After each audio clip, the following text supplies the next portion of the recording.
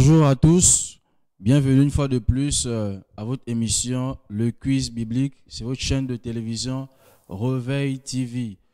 Et une fois de plus, nous voulons dire merci au Seigneur qui nous permet, n'est-ce pas, de passer ces temps avec vous. Donc, sans plus tarder, on va vous présenter les différents joueurs qui nous accompagnent pour cette émission ou pour ce quiz biblique. Donc, pour ce match, ou pour cette session, pour ce quiz biblique, nous avons huit joueurs. Nous avons Espérance, Lauriane, Paul, Laure, Yannick, Ivra, John, Alexis et Émilie. Donc ce sont ces huit, n'est-ce pas, ces huit frères, ces huit sœurs, ces huit personnes qui nous accompagneront tout au long de l'émission. Le principe est simple, nous voulons, n'est-ce pas, cultiver notre connaissance biblique en répondant à des questions. Et le principe aussi est simple. Il n'y a pas de perdant, soit on apprend, soit, on gagne, soit on apprend. Nous allons sans plus tarder passer à la première question de notre quiz biblique. Top démarrage pour la première question de notre quiz biblique. Première question, l'église de Christ doit-elle doit payer la dîme? Ah oui, là je crois que tous nos candidats vont certainement trouver cette question. L'église de Christ, l'église de Yeshua doit-elle payer la dîme? Oui ou non? Ou vous n'avez aucune idée? Chers frères et sœurs, tout le monde devrait trouver cette question. Alors on a petit à petit notre chrono qui s'effrite. Plus que 20 secondes. Et bien sûr, la réponse était non. Et oui, frères et sœurs, tous nos huit joueurs ont trouvé la bonne réponse. Alors le passage qui nous le confirme, s'il vous plaît. Donc, vous avez une succession de passages. Donc on va laisser, n'est-ce pas, l'explication quelques secondes supplémentaires sur l'écran.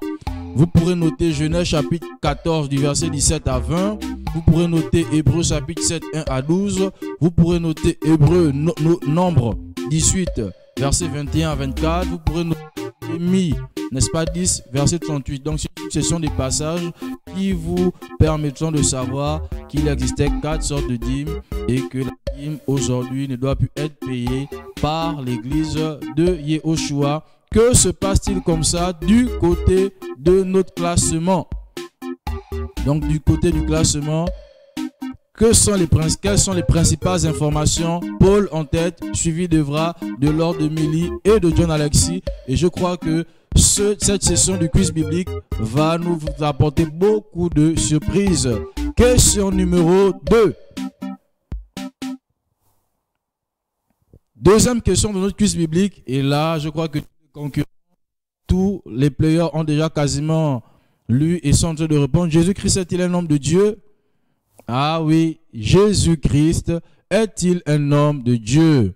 Yehoshua Mashiach est-il un homme d'Élohim? Oui ou non Ou vous n'avez aucune idée Bien sûr que oui, Yeshua est un homme d'Élohim. Jésus-Christ est un homme de Dieu. Et le passage qui nous le confirme est dans 1 chapitre 2 la parole, notamment Hébreu chapitre 1 du verset 8 à 10. Vous avez aussi Hébreu 12, 4, Hébreu 2, 14, Philippiens 2, 5 à 8, Hébreu, Matthieu chapitre 1, premier verset. Donc vous pouvez noter tous ces passages et vous verrez que ça fera des passages à méditer. Que se passe-t-il du côté de notre classement, s'il vous plaît? Du côté de notre classement, il y a bien sûr Eva qui prend la première place et Laure en deuxième position. Question numéro 3. Donc, on va passer à la prochaine question de notre quiz biblique. Et prochaine question de notre quiz biblique. Il n'y a pas donc ça nous permettre, accordons-nous quelques secondes.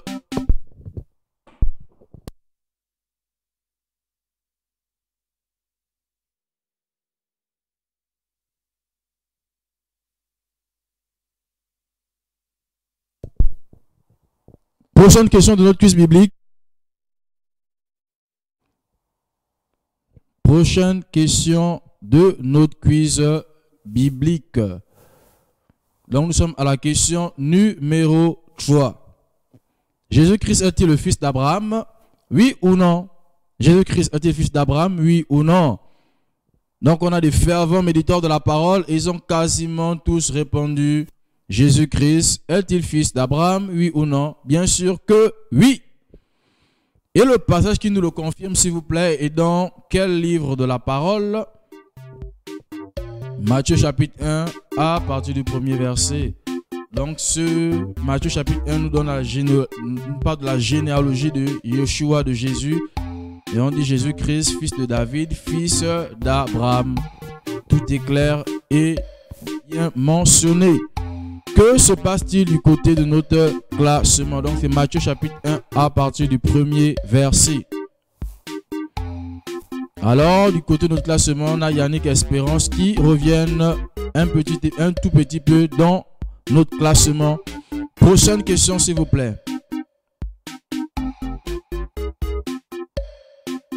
Donc, nous passons à la quatrième question de notre quiz biblique. Pourquoi Jésus-Christ est-il appelé fils de David? Est-ce que c'est parce qu'il est le fils de la généalogique d'Abraham? Donc, parce qu'il est le fils généalogique d'Abraham parce qu'il est l'héritier du trône du roi David ou parce qu'il est celui qui, par qui les chrétiens ont acquis le roi, la royauté Ils ont tous répondu parce qu'il est l'héritier du trône du roi David. Ah non, nous avons sept bonnes réponses, une mauvaise réponse. Et le passage qui nous le confirme, vous avez Matthieu chapitre 22 à partir du verset 41. Vous avez Luc chapitre 1 à partir du verset 30. Donc le passage va encore s'afficher quelques secondes vous permettre de prendre des notes et vous pourrez lire et méditer ces passages après le quiz biblique. Du côté de notre classement, que se passe-t-il? Et oui, la principale information, c'est l'arrivée de notre soeur Émilie sur le plateau. Et notre soeur Laure est toujours en deuxième position. Et notre frère Evra ne fait que grimper au classement. Question suivante. Donc, juste rappeler une fois de plus le principe de nous permettre d'apprendre la parole du Seigneur dans la bonne humeur, sans pression. À quel animal le Seigneur Jésus s'est-il comparé en pleurant sur la ville de Jérusalem, de Jérusalem? Un lion, une poule ou un agneau?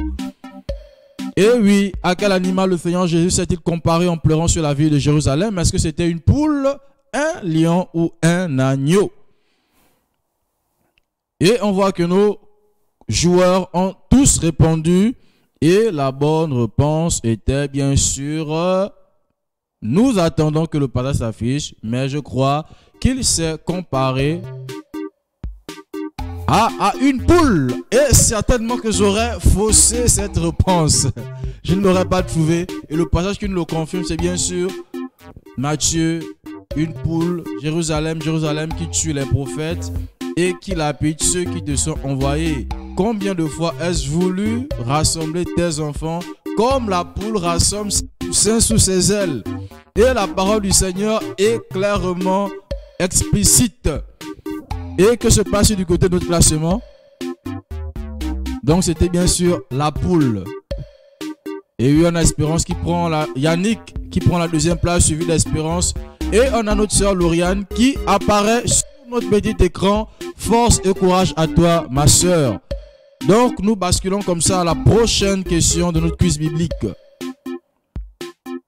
Prochaine question de notre quiz biblique. Comment doit-on pratiquer le jeûne selon le Seigneur Jésus? Dans l'indiscrétion, dans l'amertume ou dans le secret? Beaucoup de pièges. Est-ce que c'est dans l'amertume? Est-ce que c'est dans l'indiscrétion? Ou est-ce que c'est dans le secret?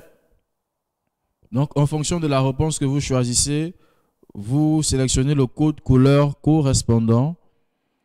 Et chez vous à la maison, vous pouvez avec nous prendre part à temps, à ces moments de détente et de gaieté. Combien doit-on, comment doit-on pratiquer le jeûne selon le Seigneur Jésus, selon le Seigneur Yeshua, dans l'amertume, dans le secret ou dans indiscrétion. Et oui, la bonne réponse était que nous devons pratiquer le jeûne biblique dans le secret. Cette bonne réponse, frère, est le passage qui nous le confirme. C'est Matthieu 6, du verset 16 au verset 18. Et quand vous jeûnerez, ne prenez pas un air comme font les hypocrites, car ils se rendent le visage tout défait. Donc vous pourrez lire la suite. Donc le jeûne biblique est le jeûne qui se fait dans le secret. Et du côté du classement, que se passe-t-il? Et oui, le classement demeure le même et nos concurrents, nos joueurs autant pour moi, sont des fervents méditeurs de la parole et nous poursuivons quiz biblique avec la prochaine question. Question numéro 7 de notre quiz biblique. Petit à petit, nous grimpons dans les questions. Quel est le sort réservé à toute personne qui se met en colère sans cause contre son frère? Quel est le sort réservé à toute personne qui se met en colère sans cause contre son frère? Et déjà cette réponse, waouh La punition par le conseil, la punition par les juges ou la punition par le feu de la GN Est-ce que la bonne réponse peut à nouveau s'afficher sur notre petit écran? Et la bonne réponse était la punition par et personne n'a trouvé. C'est pas grave. Le passage qui nous le confirme, s'il vous plaît. C'est Matthieu 5, 22. Mais moi je vous dis que quiconque se met en colère sans cause contre son frère sera puni par les juges. Comme quoi on apprend tous les jours et je viens d'apprendre quelque chose de nouveau. Donc du côté du classement, il n'y a certainement pas de changement. Nous allons basculer du côté de la question suivante. Donc comme il n'y a pas eu de bonne réponse, certainement que le classement est le même. Question 8. Quel est le sort réservé à toute personne qui traite son frère de raka? Il y a un tout petit piège, la punition par le conseil, la punition par les juges, la, la punition par le feu de la GN. Donc quel est le sort réservé à toute personne? Oui, la bonne réponse était la punition par le conseil. Et le passage qui nous le confirme, donc l'explication c'est Matthieu 5, 22. Et celui qui dira son frère Raka sera puni par le conseil. Donc vous voyez que la réponse est clairement mentionnée. Prochaine. Non, on va aller d'abord du côté de notre classement s'il vous plaît. Attention, lisez car je sais qu'il y a une question qui nous sera posée. Donc le classement reste le même. Prochaine question s'il vous plaît. Eh oui, on s'y attendait à cette question. Quel est le sort réservé à toute personne qui traite son frère d'insensé? Punition par le conseil, punition par la jupe, punition par le feu de la GN. Et on voit qu'en moins de 40 secondes, tous nos joueurs ont répondu. Et je sais qu'ils ont tous correctement répondu. Car la bonne réponse est la punition par... À vous de répondre, vous. La punition par certainement le feu de la GN. Donc nous avons six bonnes réponses. Et le passage qui nous le confirme est dans Matthieu 5, verset 22, certainement. Donc, et celui qui dira insensé sera puni par le feu de la GN. Donc ce jeu éveille aussi le sens de l'anticipation, de la rétention. Et du côté du classement, que se passe-t-il? On a notre sœur Laure qui monte petit à petit, qui prend la troisième place. Force et courage à toi, sœur. Nous allons basculer au... à la prochaine question, bien sûr, de notre quiz biblique, s'il vous plaît. Question numéro 10. Quel est le verdict réservé à tout chrétien qui convoite une femme? Coupable d'adultère, non coupable d'adultère ou coupable de blasphème? Et oui, nous voyons que le culte biblique sur l'évangile ah, va vraiment, vraiment vite. Car les chrétiens méditent beaucoup. Les évangiles coupables d'adultère étaient la bonne réponse. Et le passage qui nous le confirme est dans le livre certainement de Matthieu 5, 28. Mais moi je vous dis que quiconque regarde une femme pour la convoiter a déjà commis dans son cœur un adultère avec elle. Donc on apprend beaucoup de choses. Et du côté de notre classement, que se passe-t-il? Que se passe-t-il du côté de notre classement? Les scores augmentent, mais le classement demeure le même. Question suivante.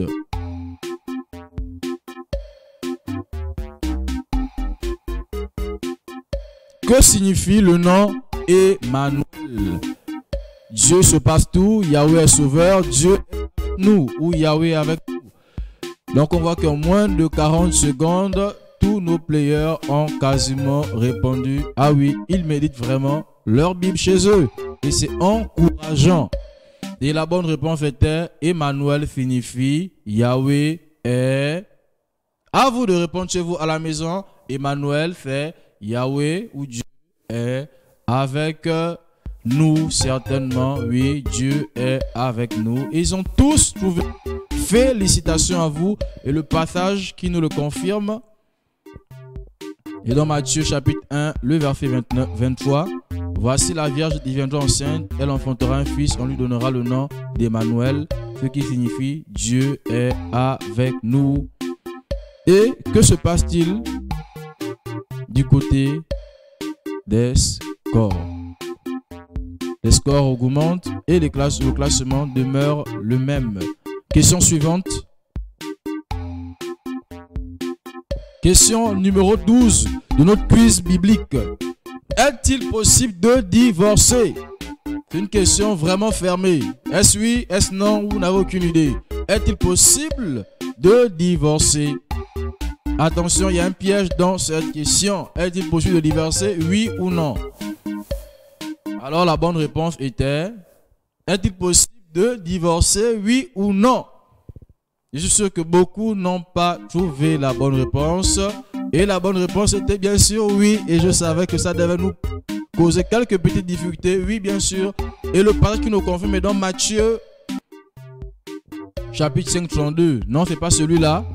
Ah si. Mais moi, je vous dis que celui qui répudie sa femme, si ce n'est pour cause d'adultère, point, point, point, donc, oui, est-il, il est bel et bien possible de divorcer.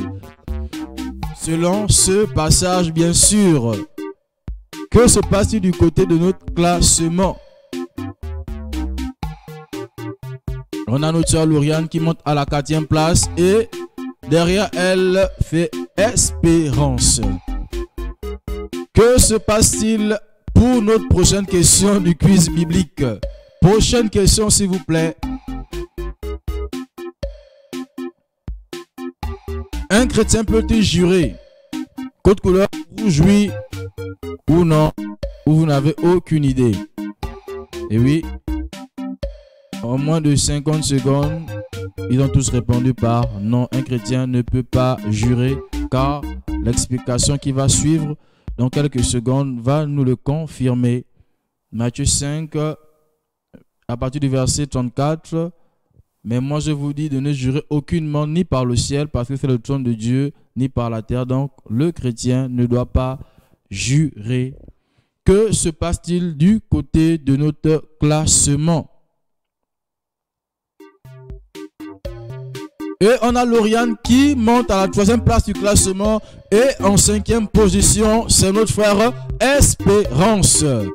Prochaine question, s'il vous plaît. Comme quoi, des femmes aussi aiment et méditent la parole de notre Seigneur. Tu ne tueras pas, et celui qui tuera sera puni par les juges. De qui est cette parole? Est-ce que c'est Moïse? Est-ce que c'est Jésus-Christ? Est-ce que ce sont les anciens? Attention, attention, il y a un petit piège. Tu ne tueras pas. Et celui qui tuera sera puni par les juges de qui est cette parole? Est-ce que c'est Moïse? Est-ce que c'est Jésus-Christ, donc Yeshua Ou est-ce que ce sont les anciens d'Israël qui ont dit cette parole? Et eh oui, c'était bien sûr Moïse. Et le papa qui nous le confirme, s'il vous plaît, certainement dans le livre de Matthieu 5, 21, vous avez entendu qu'il a été dit aux anciens, tu ne tueras pas, et celui qui tuera sera puni par les juges. Donc c'est Moïse dans le livre de la Torah, notamment le d'Exode, qui a fait cette déclaration reprise par le Seigneur Yeshua. Et la bonne réponse était bien sûr Moïse. Que se passe-t-il du côté du classement, s'il vous plaît? Et oui, la principale information, c'est Espérance qui prend la quatrième place provisoire de notre quiz biblique. Question suivante. Nous sommes déjà, comme ça, notre 15e question. Vous voyez que ce quiz file parce que notre joueur, bon, tu ne commettras pas d'adultère. De qui est cette parabole? Jésus-Christ, Moïse ou les anciens d'Israël? Donc j'espère que chez vous, vous arrivez toujours à jouer. Donc excusez-nous pour la rapidité, c'est parce que les joueurs répondent tellement vite aux questions que nous sommes soumis à leur rythme. Donc ils répondent tellement vite. Et oui, elle était de Moïse cette déclaration. Et le passage qui nous le confirme, c'est Matthieu 5, 27. Vous avez entendu qu'il a été dit aux anciens, tu ne commettras pas d'adultère. Et c'est une fois de plus Moïse qui l'avait dit dans le livre d'Exode. Et du côté de notre classement, que se passe-t-il? Eh oui, principale information, c'est Lauriane qui prend la deuxième place devant Yannick et Espérance. Prochaine question de notre quiz biblique. Donc c'est des moments de détente, c'est de la bonne humeur. Nous bénissons le Seigneur Yeshua pour ces moments. Eux pour eux, donc pour dans de qui est cette parole? Les anciens, Jésus-Christ ou Moïse? Donc excusez-nous comme je vous l'ai dit, ils sont tellement bons, ils ont tellement bien médité que ça va vraiment vraiment vite à une vitesse que je n'arrive plus moi-même à maîtriser. Et c'est une fois de plus Moïse. Et vous voyez justement qu'ils ont tous trouvé, car ils méditent la parole. Et le passage qui nous le confirme, s'il vous plaît. C'est Matthieu 5, 38. Vous avez appris qu'il été dit œil pour œil et dent pour dent. Et c'est toujours Moïse qui a fait cette déclaration dans le livre d'Exode. Du côté du classement, quels sont les points? Voilà, il n'y a pas de changement.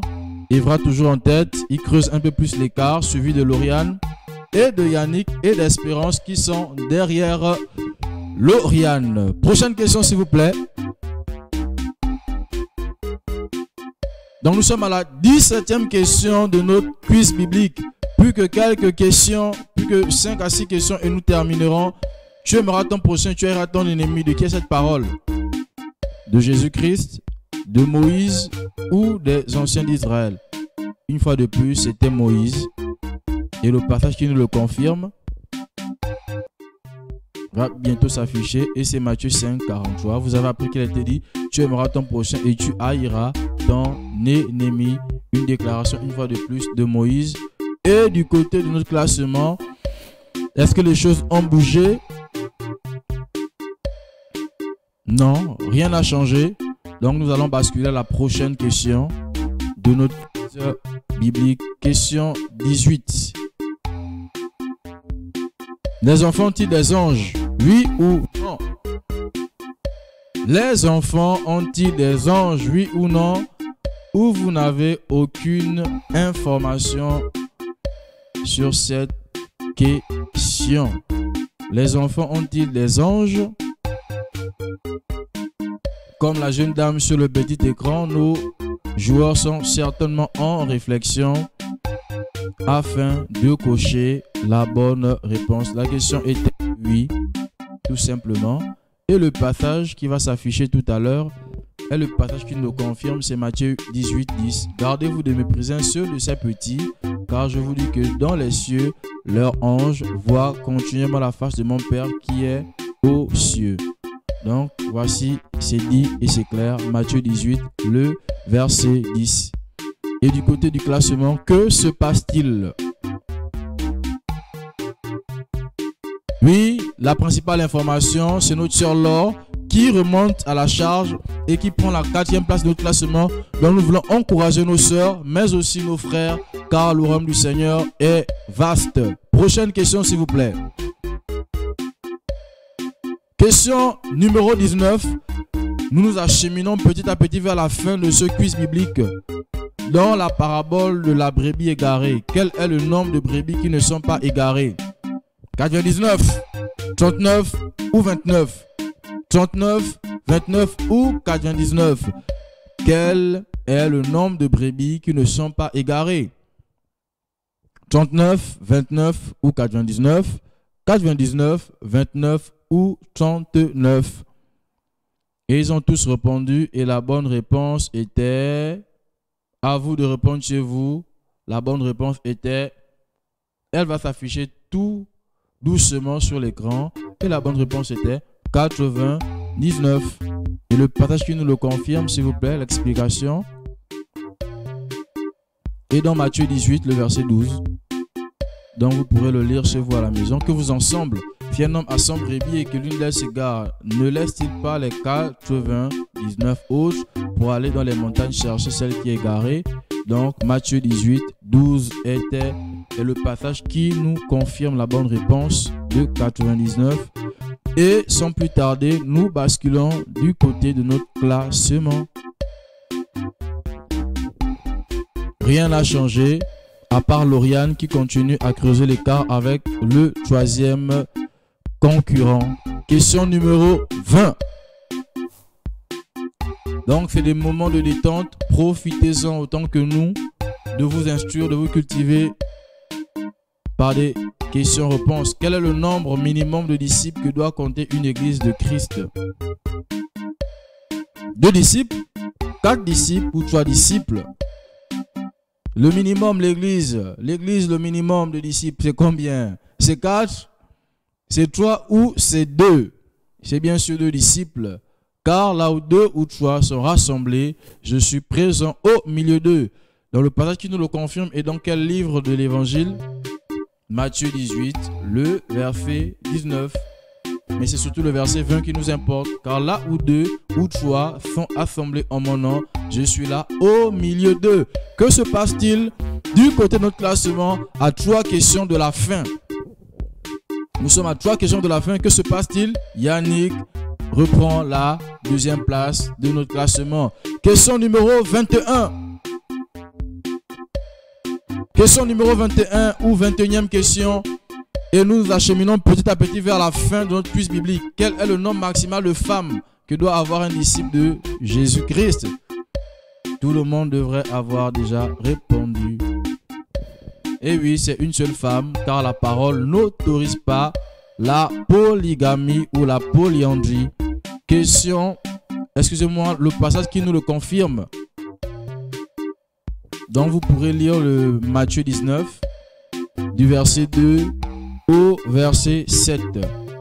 Verset 8 autant pour moi 19 2 à 8 vous aurez plus de précision. Matthieu 19 2 à 8. Que se passe-t-il du côté de notre classement?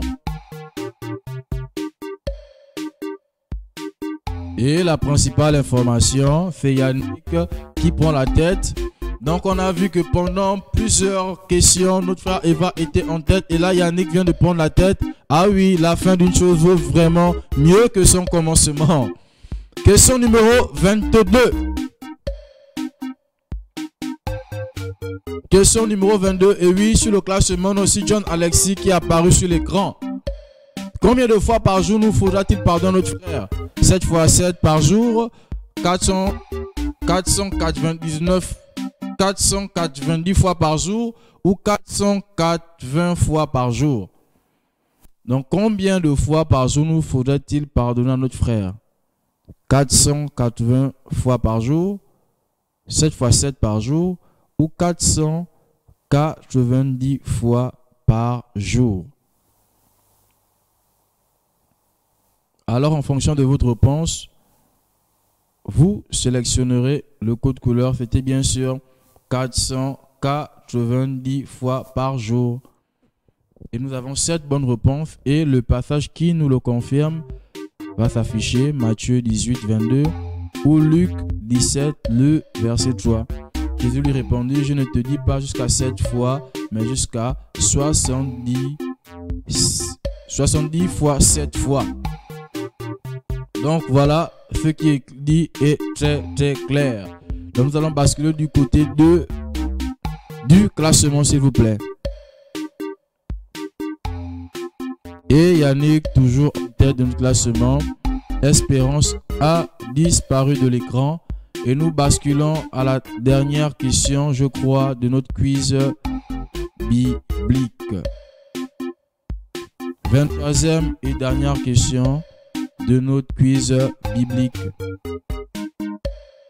Dans la parabole du roi et du méchant serviteur, combien devait le méchant serviteur au roi? 10 000 statères, 10 000 talents ou 10 000 cycles d'argent? Donc l'émission est allée un peu vite à cause de questions, à cause de réponses qui ont été assez rapides. J'espère néanmoins que vous, avez pris, que vous avez pris du plaisir. C'était bien sûr 10 000 talents, la bonne réponse. Et le passage qui nous le confirme est dans le livre de Matthieu 18, à partir du verset 23. C'est pourquoi le royaume des cieux est semblable à un roi qui voulut faire rendre compte à ses esclaves. Et quand il se mit à compter, on lui en présenta un qui lui devait 10 000 talents. Donc, notre cuisse biblique est quasiment arrivé à son terme et nous allons afficher le score final, le classement final de notre cuisse biblique, s'il vous plaît. Troisième position, notre sœur Lauriane, félicitations à toi. Deuxième position, notre frère Evra. Et en première position, une fois de plus, notre frère Yannick, qui est le grand champion de ce quiz biblique. Voilà, comme je le disais tantôt, c'est aller un peu vite. Vous allez nous excuser, mais c'est aussi ça l'objectif du jeu, de pouvoir répondre le plus rapidement possible. Donc merci d'avoir pris, plaisir avec nous, n'est-ce pas? Merci d'avoir été avec nous pour cette émission. À la prochaine. Que Yahweh vous garde.